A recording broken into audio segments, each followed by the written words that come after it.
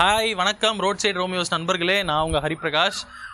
தொடர்ந்து நம்ம road side Romeos சேனலில் பார்த்தீங்க அப்படின்னா நிறைய வெப் சீரிஸ் பண்ணியிருக்கோம் சோஷியல் கண்டென்ட் பண்ணியிருக்கோம் இன்டர்வியூ பண்ணியிருக்கோம் ஸோ நிறைய அதெல்லாம் பார்த்துருப்பீங்க இப்போ நம்ம ரோட் சைடு ரோமியோஸில் வந்து புதுசாக என்ன பண்ணலாம் அப்படின்னு திங்க் பண்ணும்போது தான் அக்ரிகல்ச்சர் கண்டென்ட்ஸ் வந்து கண்டிப்பாக நம்ம கொடுக்கலாம் அப்படின்னு சொல்லிட்டு நமக்கு ஒரு ஐடியா தோணுது. ஸோ அதுக்காக தான் நம்ம என்ன பண்ண போகிறோம் ஒரு தனி சீரீஸே ஒன்று ஸ்டார்ட் பண்ணலாம் அப்படின்னு சொல்லிட்டு ஸோ விவசாயம் கற்கலாம் அப்படின்னு சொல்லிட்டு ஒரு தனி சீரிஸ் நம்ம ஸ்டார்ட் பண்ண போகிறோம் ஸோ அந்த சீரிஸில் யார் பேச போகிறாங்க அப்படின்னா மிஸ்டர் என் மதுபாலன் அவர்கள் தான் பேச போகிறாரு he has around almost of thirty five years of experience in agriculture so நிறைய விஷயங்கள் உங்களுக்காக ஷேர் பண்ண போகிறாரு முக்கியமாக டெரஸ் கார்டனிங் எப்படி பண்ணுறது அப்படின்றத பற்றி சொல்ல போகிறேன் ஏன்னா நிறைய பேர் இன்றைக்கி வந்து டெரஸ் கார்டனிங் எப்படி பண்ணணும் ஆர்கானிக் அக்ரிகல்ச்சர்லாம் எப்படி பண்ணணும்னு கேட்டுக்கிட்டு இருக்காங்க. ஸோ அவங்களை எல்லாம் எல்லாருக்குமே பெனிஃபிட் ஆகிற மாதிரி நிறைய அக்ரிகல்ச்சர் டிப்ஸ் வந்து இந்த சேனலில் வரப்போகுது. நீங்கள் பண்ண வேண்டியதெல்லாம் ஒன்றே ஒன்று தான் கண்டென்ட் நல்லா இருந்தால் ஷேர் பண்ணுங்கள் தயவு செஞ்சு எல்லாருமே சேனலை சப்ஸ்கிரைப் பண்ணிக்கோங்க. ஓகேவா நண்பா? போய் கண்டென்ட்டை பாருங்கள்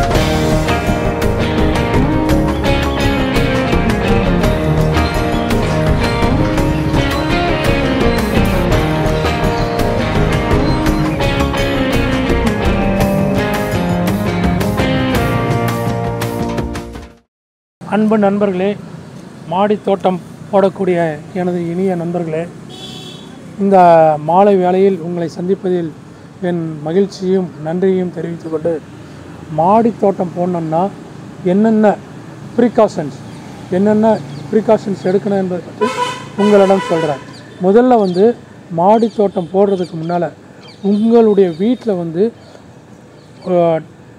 எவ்வளோ இடம் இருக்குது மாடி மேலே எவ்வளோ இருக்குது அப்படின்றத ஃபஸ்ட்டு டிசைட் பண்ணுங்கள் அதில் எவ்வளோ இடத்துல நீங்கள் மாடி தோட்டம் போட போகிறீங்க ஏன்னா உங்கள் மாடி தோட்டம் வந்து போடுறதுக்கு ரூஃப் தான் உங்கள் வீட்டினுடைய இதயம். அந்த ரூஃப் வந்து மிக நன் நல்லபடியாக இருக்கணும். அதிலிருந்து ஒரு சொட்டு தண்ணி கூட லீக்கேஜ் ஆகக்கூடாது. அதுவும் முதற்கண்டு சொல்லணும்னா அந்த ரூஃபுக்கு வந்து நீங்கள் நான் சொல்லக்கூடிய இந்த மூணு பெயிண்டிங்கில் கண்டிப்பாக அடிக்கணுங்க. ஒன்று வந்து டேம் ப்ரூஃப் பெயிண்ட் என்றதை வந்து நீங்கள் அடிக்கணும். அது ஃபஸ்ட்டு வாங்கணும். அதுக்கப்புறம் வந்து ப்ரைமர் அப்புறம் வந்து கிராக் பேஸ்ட் என்றதை வாங்கிக்கணும். இந்த மூணையும் வாங்கி அந்த இடத்துக்கு தகுந்த மாதிரி நீங்கள் அடிக்கணும். அப்படி அடிக்கிறப்போ தான் அது வந்து அப்படியே பளிச்சுன்னு வெண்மையாக இருக்கும். இப்போ பார்த்தா தெரியுது இல்லைங்களா? எவ்வளோ பளிச்சுன்னு இருக்குன்னு. இது அடித்த பிறகு தான் நமக்கு சன்லைட் பட்டால் கூட அப்படியே ரிஃப்ளெக்ட் ஆகிடும் இதனுடைய நன்மை என்னன்னு பார்த்தீங்கன்னா நம்பர் ஒன் ஒரு சொட்டு தண்ணி கூட இதில் இறங்காது. நம்பர் டூ இது வந்து சன்லைட்டை அப்படியே திருப்பி அனுப்புறதுனால நமக்கு வந்து கீழே வந்து ரூமுக்குள்ளே டெம்பரேச்சர் ரொம்ப குறையும். நாலு டிகிரிலேருந்து ஐந்து டிகிரி வரும். அதே சமயத்தில் வந்து இது வந்து நாலு நாலு டு ஐந்து ஆண்டுகளுக்கு இந்த மாடி த- இந்த ரூஃப் வந்து ரொம்ப நல்லா இருக்கும் எந்த விதமான இதுவும் நமக்கு வராது. அதனால தான் செலவு பார்த்திங்கன்னா ஒரு ஆயிரத்தி ஐநூறு சதுரடிக்கு குறைஞ்சபட்சம் பன்னிரெண்டாயிரம் ரூபாய் ஆகும்.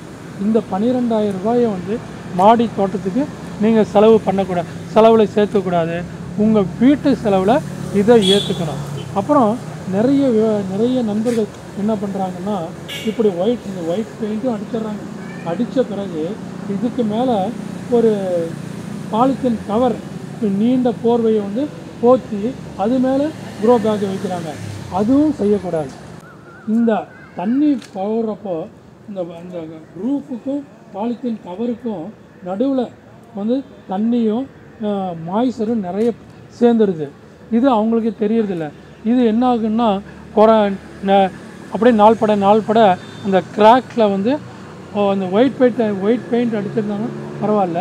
சப்போஸ் ஒயிட் பெயிண்ட் அடிக்காமல் வெறும் பாலித்தீன் ஷீட்டை மட்டும் நல்லா பரப்பி விட்டு அது மேலே வச்சுருந்தாங்கன்னா அதுவும் வந்து அந்த டேம் அந்த உங்கள் ப்ரூஃப் வந்து கொஞ்சம் கொஞ்சமாக வெடிப்புட ஆரம்பிச்சிடும் அதனால் பாலித்தீன் ஷீட்டை வந்து எந்த காரணத்தை கொண்டும் நீங்கள் விரிக்கக்கூடாது இது நம்பர் ஒன் இது சொல்லிட்டேன்.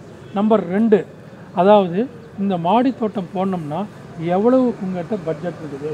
எவ்வளோ ஏரியா இருக்குது? என்பதை வந்து நீங்கள் நல்ல முடிவு எடுத்துக்கணும்.